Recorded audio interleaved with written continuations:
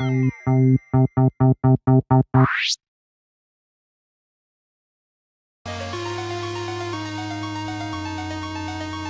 guys, Andy here, and today we are playing Final Girls. Uh, I've already played it before, but my recording screwed up, so I'm gonna do it all over again. So let's see, uh, let's see how this goes. Ellen's story. Ellen's own experiences with trauma led her to pursue a career as a therapist. She has been organizing group therapy sessions for Final Girls for several years now, and has been meeting with this particular group for just over a year at this point. Mary's story. Mary's a surgeon who specializes in body modification. Connecting with her work after her trauma motivated her to work through a lot of the emotional and a lot of the physical and emotional issues that resulted from it. And I screwed up that part because I always do that. Carrie's story. Carrie dealt with some terrible bullying in high school and suffered a psychotic break as a result, but after years of treatment, she has made a life for herself that she feels good about. Jay starts struggling to recover after dealing with the stalker. She finds solace in her writing. However, she has one published novel and she's working on a second right now. Laurie was attacked while babysitting many years ago. Since then, she has gotten her teaching credential and become a high school English teacher. She really enjoys her work and is fairly content with her life, although she still occasionally has nightmares about her attacker. Welcome, everyone. Uh, okay. We're gonna start off. Okay. So the this is how it works. Uh, we ask every character about. Uh, I'm sorry for clapping. Uh, we ask everyone about their week. Uh, see what they've done. Uh, but today we're gonna start out. With, well, right now we're gonna start off with uh, Jay. Jay's story contains content that might be difficult for some players, particularly if you suffer from PTSD and sometimes experience traumatic flashbacks or have had to deal with a stalker. You may skip this content with no penalty if you choose. Okay, we're going to continue. How did your week go, Jay? Oh, you know, up and down. Just your average week for someone with PTSD.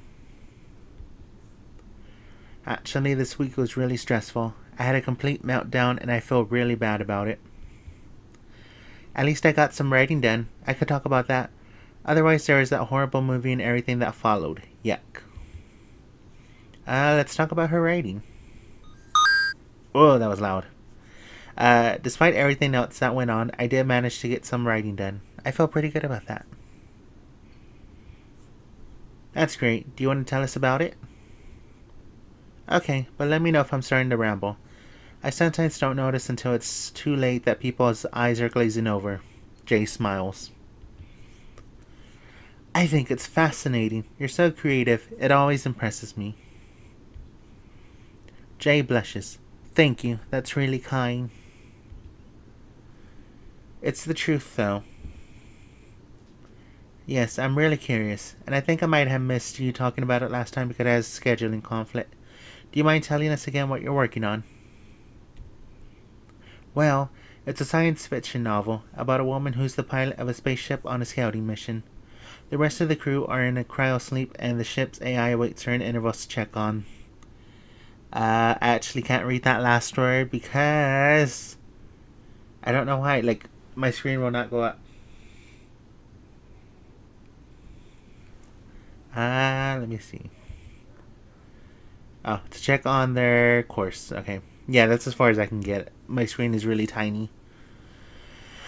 A lot of it is just her talking to the AI and thinking about a lover she left behind. I'm not going to spoil it, but one of the questions left unanswered, though, most of the story, is why. This week I ended up writing a particularly emotional passage talking about her previous relationships. It was oddly soothing after the rest of the stress of the week. I can't wait to read it. Carrie's so uh, uh, enthusiastic about everything. Uh, neither can I. Thank you, that's really kind. Uh, I hope they aren't disappointed if they actually do end up reading it.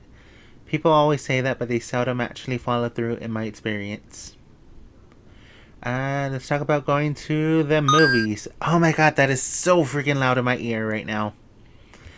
So I went on a date this week with this pretty cute guy. His name's Nate. Don't trust a Nate. Uh, nice. How did it go?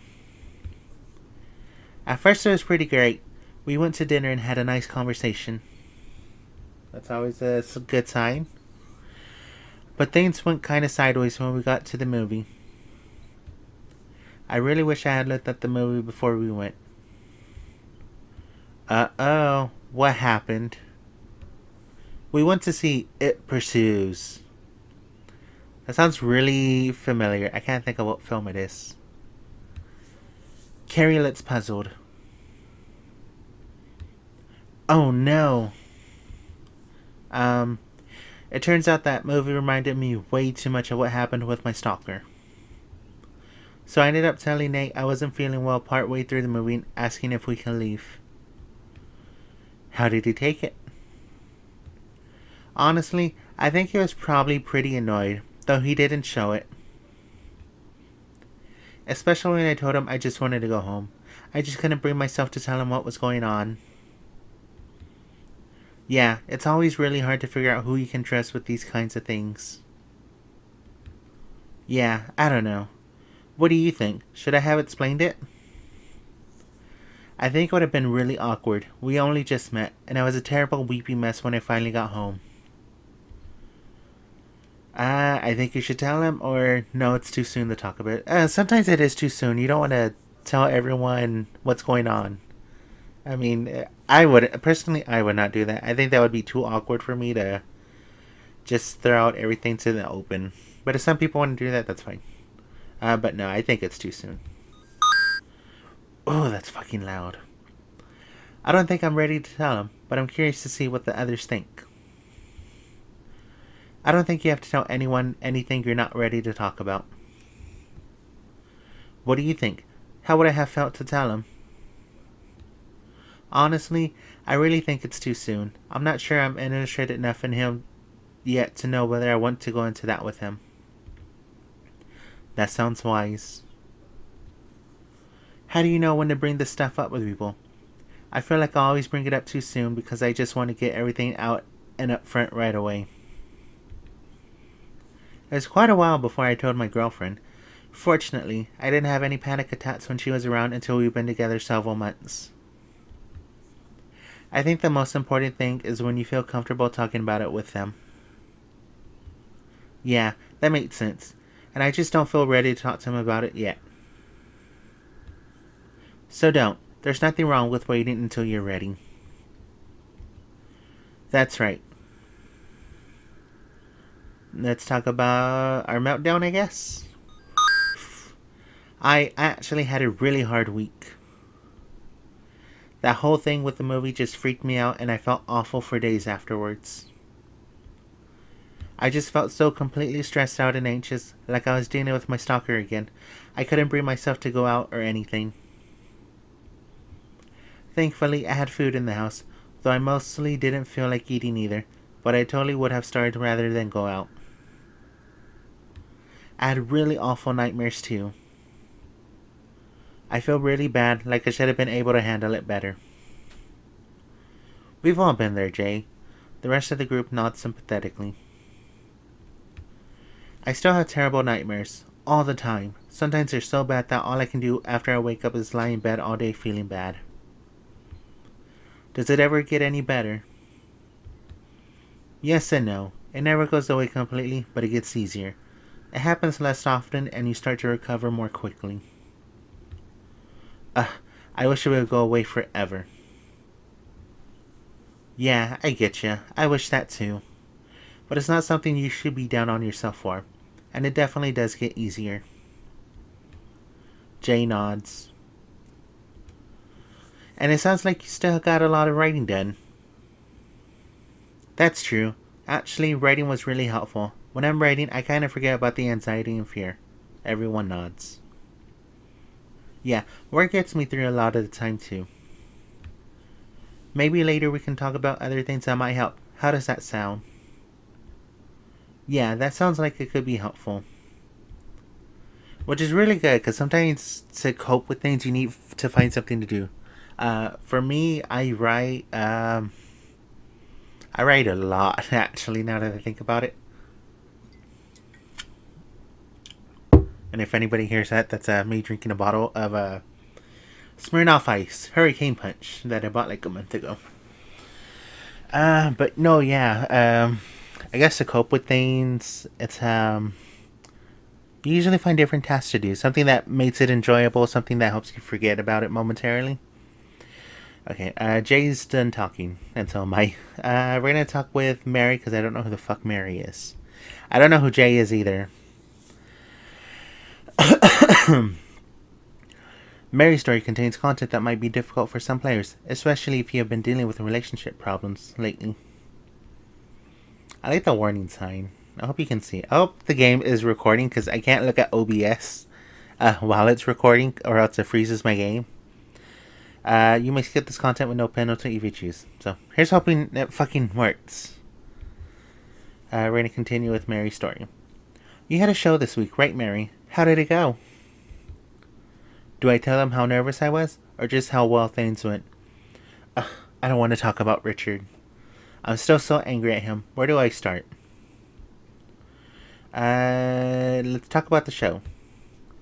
My show went really well. Janelle is a fantastic photographer, really talented. And she did a really good job capturing what my work was. She did a really good job capturing what my work meant to my clients. I don't know if you told us I don't know if you told us about this last week, but I'm really curious about how this all got set up. Well, I gave her a list of my clients who expressed interest in being her subjects. Then she emailed them a list of interview questions, and after they responded to that, she set up a time to photograph them. That sounds awesome. It really was. She sent me copies of everyone's responses and then sat down with me to review the photos and say which ones to include in the show. Did your clients get any input? Oh, yes. After she and I selected the photos we liked, we sent them back to my clients for review. Most of the time they agreed with our choices, but a few of them preferred different photos. Of course, we respected their wishes and used the photos they requested. Uh, let's ask who, about the show. Was the show well received? I was so worried about what kind of response I would get. Mostly yes. Of course, there were the usual naysayers who believed that the world would be better off without my work. But BME had a full spread on the show using some of Janelle's photos, so that was great. Uh, let's ask who came to her show. Uh, ooh, we got options. Mom or Richard? Uh, let's talk about mom. Well, my mom showed up, Mary laughs. That was a big surprise. Oh, yeah, I bet. She's always pretended not to know what you do, right? Oh, shit. Uh, she's always tried to be supportive without actually acknowledging my work. Okay, the last time I played this, I didn't go through most of the options, so some of this is brand new to me. But this time she came to my reception and actually said some really positive things about it. That's excellent. What kinds of things did she say, if you don't mind sharing? She said she could see how what I did meant a lot to people and brought them happiness. She even said that some of them looked good, which really surprised me. If only Richard could have been half as supportive. Who's Richard? Who's Dick? I guess I should tell them about Richard. It's not much of a support group if you don't actually try and get support, right? There is one really disappointing thing that happened. Mary takes a deep breath.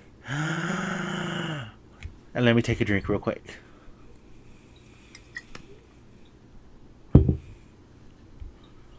Richard didn't come to the reception. What? I hope he had a good excuse. Mary sighs. Not really. At first he told me he got caught up in work and forgot, but when I told him how disappointed and upset I was, Mary hesitates. It's okay, Mary. Take your time. Thank you. He said he felt sort of pressure to come, like it was a homework assignment or something. What kind of bullshit excuse is that? That made me really mad. I don't know how I even continued the conversation with him at that point. And then he told me that I couldn't expect him to be there for everything just because he's my boyfriend. Oh my god, that's that's kind of a shitty thing to say. I understand maybe. Uh, so, uh I know sometimes you don't want to do stuff, um, but if your partner wants you to be there, you should maybe consider being there. Um, but like at first when he said made up that dude said about work, uh, that might have been reasonable, but no, not when he said it fucking feels like a fucking assignment. Uh, okay, uh, let's continue. And that if I was going to be upset and disappointed every time he didn't show up for something, this wasn't going to work out. This is some bullshit. Fuck him. Fuck that dick. So I dumped him. Oh shit, yes, you go, Mary. Good for you. What a jerk. Ah, I'm sorry you had to go through that, especially for your first big show. Yeah, I'm really angry and disappointed, but better I find out now than later, I guess. I wonder if I'll ever meet someone I can actually count on. Who knows? Wow, that really sits. He sounded so sweet and charming too. That was hard, but I'm really glad I told them. Yeah, I don't know what his deal is, really but I'm still really pleased about the show, and I'm glad to I have all of you to talk to about it. Uh, let's talk about her anxiety. It's hard to talk about this, but I need to try. I was actually really nervous about doing the show. What were you worried about? Well, Mary Lass, at first I was worried that my clients wouldn't want to... I can't read the rest of that. I'm sorry, I can't read it. Uh... Yeah, there's no way I can read it. It was a huge relief when so many of them not only said yes, but seemed really excited about it. That was great, Mary smiles. Is she smiling? Is she? I was also really worried about how the show would be received. A lot of people really don't like my work and say terrible things about me and my clients. It's really hard to just ignore that, you know? I wasn't wrong, we did get some of the feedback. But overall, uh, overall, the reception was really positive, I think. And we're done with Mary. I don't really have anything else I want to say about this week. Does anyone else want to talk about how their week went? Uh, let's talk with Carrie. My week was really great. Very hectic, but I'm feeling good about things. She's so enthusiastic. I, that makes me happy. I enjoyed Carrie. Carrie was a good movie. Uh, both the um, uh, the original version and the TV remake with the what's her face. I can't think of it. I can't think of who's in it. Uh, but the one that was recently released with what's her face, Chloe Grace Moretz, that was that was shit. That was a shit film. Uh, let's see. Let's talk about the catering business because Carrie apparently caters. My catering business is really taking off. I feel like I hardly had time to breathe this week. That's great. Did you have a lot of events this week or just one big one? I had a wedding and a couple of smaller events, so it was really hectic. I had to hire staff for the wedding too, which I've only done a few times before, but it mostly worked out fine mostly. Well, the groom turned out to be really finicky, but no one had said anything to me about it beforehand, so I had to put together something special for him at the last minute. Fuck that groom! The bride was really apologetic, poor thing. I felt kind of sorry for her, but I think he was mollified eventually. And the other events, how did they turn out? Oh, they were fine. Mostly the usual business dinners and lunches, fairly standard. Who knew that all that cooking I was doing to self-soothe would eventually turn into a career for me? That must feel really good. Yeah, it does. I feel really proud of myself that it's working out so far. It's not easy, but I'm really enjoying it. Uh, let's talk about gardening. We're gonna say the girlfriend for the last bit. Despite everything being so hectic, I managed to add a few more plants to the garden.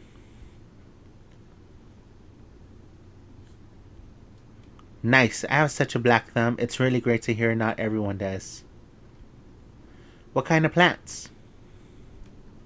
Well, I got some heirloom tomatoes and a few more herbs. I'm still not quite sure about the pH of the soil there, but we'll see. Do you have any decorative plants or are you focusing on things you can eat? Mostly things we can eat, for now. It was my love of cooking that one and wanting to have fresh herbs on hand that motivated me to try my hand at gardening in the first place. Gardening is really fun. I really do recommend it. Um, before our garden to shit, we had uh, strawberries, um, I think green onions, and I don't remember what else. Lettuce? No, no, no. We had a cab, a giant. It was a really fucking giant cabbage we used to have and uh, I think cilantro and uh, I don't remember what else. But We used to have a bunch of herbs too, but it's really fun. I, re- I do recommend gardening. But if the kitchen garden does well, I might think about planting something ornamental. That's so fantastic. Let's talk about our girlfriend. How are things with Lindsay? Things are pretty good though we're still adjusting to living together. Oh, that's right, you just moved in together, didn't you? How long ago was that? It's been a couple of weeks now, I mean. We've been dating for a couple of years, so I think we were in agreement that the time was right. But you never know what it's really like until it becomes a reality, Carrie smiles.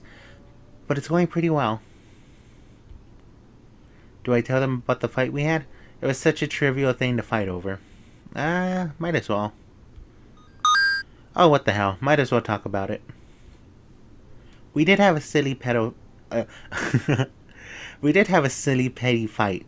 Promise me y'all won't laugh, okay? Oh, come on. We all know how nonsensical fights happen in every relationship.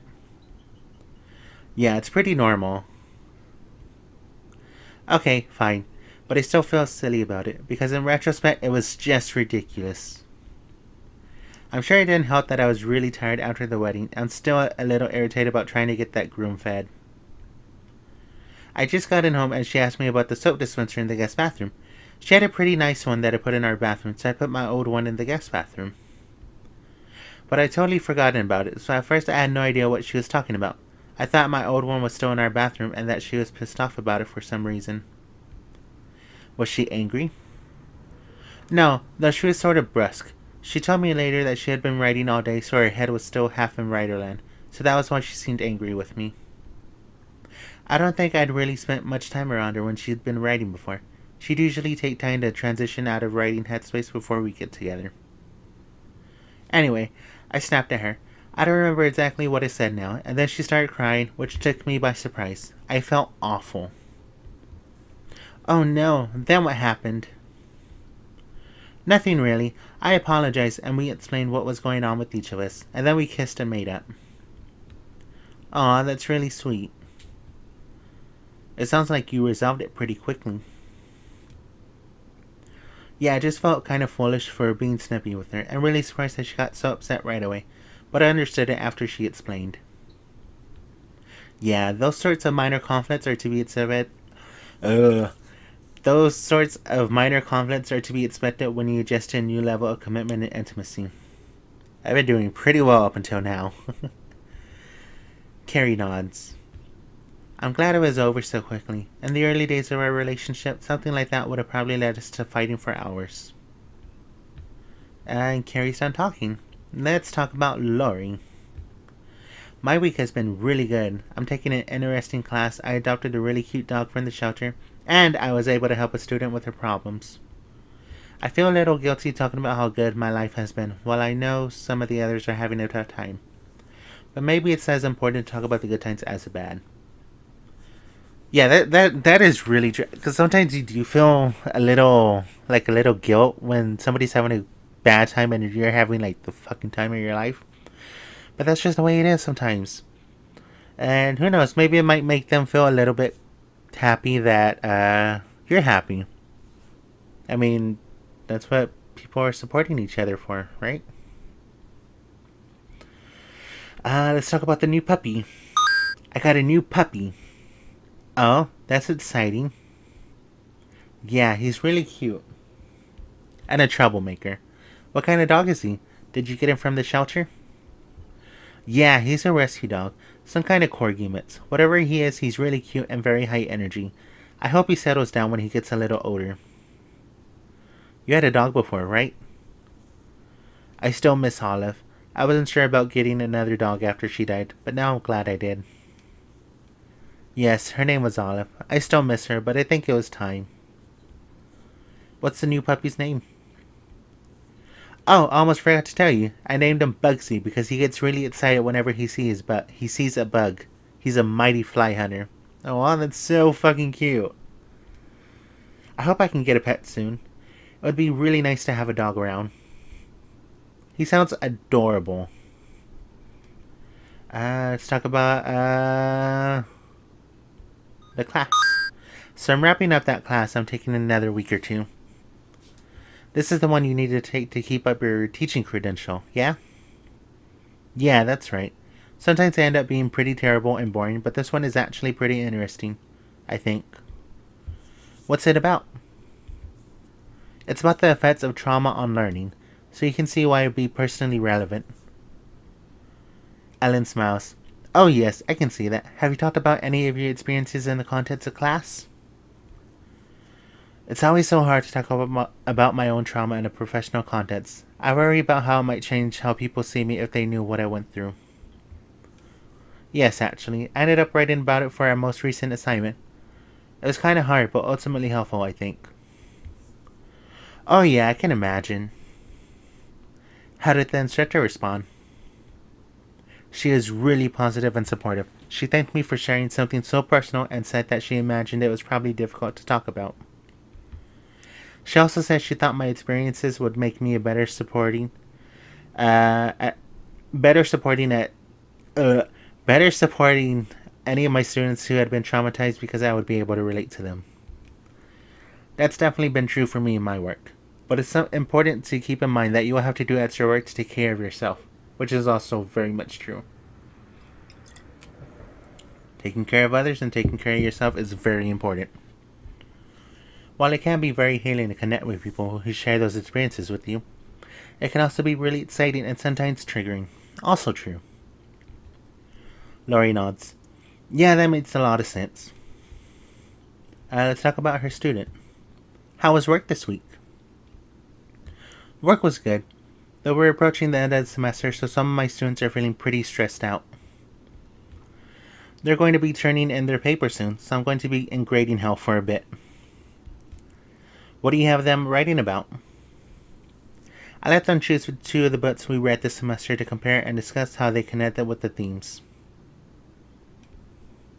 Hopefully, they don't all choose the same books. Do I tell them about the problem Jennifer came to me about? Uh, Jennifer's Body. I've never seen that movie.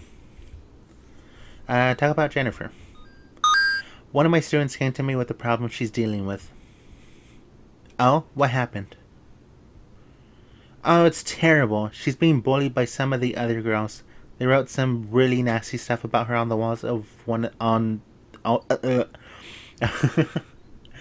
they wrote some really nasty stuff about her on the walls of one of the girls' bathrooms. Ah, that's awful. What did you tell her? Well, it's hard, you know. I tried to encourage her to go to administration about it, but she said that would make it worse, which is probably true, unfortunately. We also discussed talking to the girls who were doing it, but it doesn't sound like that was a good option either. I also had offered to talk to them myself, and she said she would think about it. Mostly I just listened and told her that what they were doing wasn't right and she doesn't deserve it. I wish I'd had a teacher like Laurie when I was in high school. I hope it doesn't get any worse for her. Yeah, me too. If it continues, I'm going to see if we can talk about going to mediation or something. I'm considering reaching out to the other girl's parents to see what's going on there, hopefully without tipping them off that she came to me. She and I are going to meet with her counselor this week to discuss the situation. That sounds like a good plan. Yeah, I hope it helps. And Laurie's done talking. Everyone is done talking about their weeks. It sounds like most of you have talked about what you wanted to discuss today. I was thinking that to wrap up, we could talk about our self care strategies. How does that sound? Sounds good to me. How about you, Carrie? Would you mind starting us off by telling us what about. okay, let's do that again. Uh, how about you, Carrie? Would you mind starting us off by telling us about what kinds of things work for you? Sure, though. I'm in a sure, though I'm in a kind of a weird place right now around that. Cooking was a big form of self-care for me, but now that I got the catering business, it's not quite the same. That is why I started the garden, though. I thought it might be a good substitute. We'll see, though. It's still a very new thing. Yes, I can see how that might be a challenge. Anyone else? Jay, how about you? I go running sometimes, though it's hard when my anxiety, anxiety makes it difficult to leave the house. Writing is a big one for me. I keep a journal, but working on my novel helps too sometimes.